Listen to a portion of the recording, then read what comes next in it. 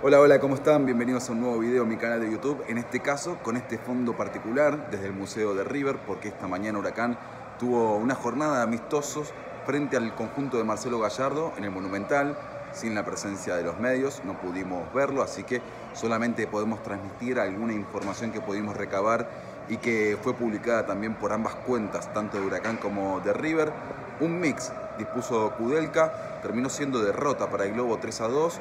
había abierto la cuenta Candia,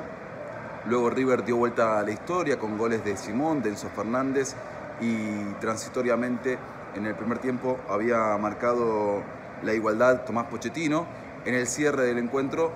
puso el 3 a 2 final Juan Gauto. Marcos Díaz,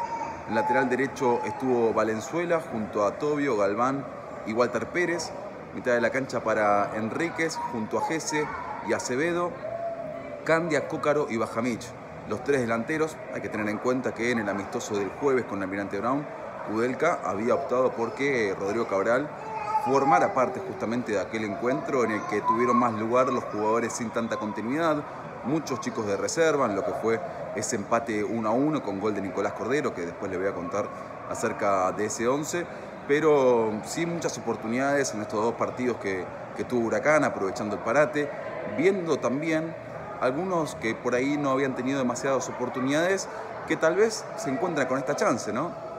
De jugar contra River, de jugar contra sus pares de Almirante Brown y ver si se ganan el lugar en la consideración de Kudelka para la segunda parte de esta Copa Liga Profesional, en la que por supuesto Huracán aspira a meterse en los playoffs, clasificar entre los primeros cuatro para estar en la instancia de definición del torneo y también con la Copa Argentina que se viene seguramente eh, en los primeros días de abril con el estreno frente a Deportivo Madrid.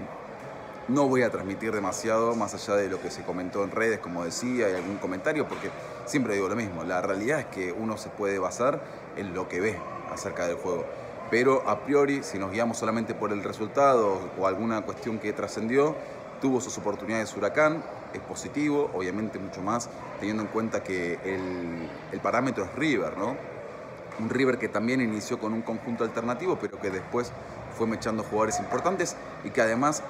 los suplentes de River tranquilamente serían titulares en Huracán y en tantísimos equipos de esta primera división. Tuvieron la chance de sumar minutos, Cristaldo, Quiles no lo hizo, digo, dos de los jugadores que venían tocados en algunos aspectos físicos por distintas cuestiones y que también, por ejemplo, ingresaron en la segunda parte Navarro, Cordero, tuvo la chance de, ingresar también Cabral, Gauto, que todavía no debutó en primera división, pero que en este caso se dio el lujo de no solamente mostrarse en el Monumental, sino que además convertirla a River. Mercado estuvo cerca de marcar el empate, cuentan en el final, después de una buena maniobra tanto de Cabral junto a Gauto y que tuvo el remate del ex volante independiente. De los otros titulares, los que no jugaron, Fattori también por una fatiga muscular e Ibáñez por una gripe directamente no se presentó. En lo que respecta al amistoso en la fragata, con la fragata en la quemita, el del jueves,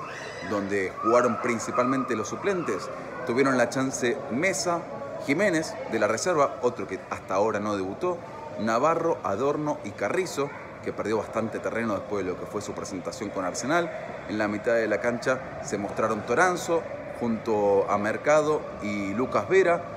Cabral como la novedad, si se quiere, teniendo en cuenta que venía siendo titular, también es cierto que con un rendimiento que por ahora no está, eh, no se asemeja a lo que se vio el semestre pasado y que lo tenía como un jugador casi que imprescindible por el lado de Kudelka. Vides, que sigue buscando su mejor forma,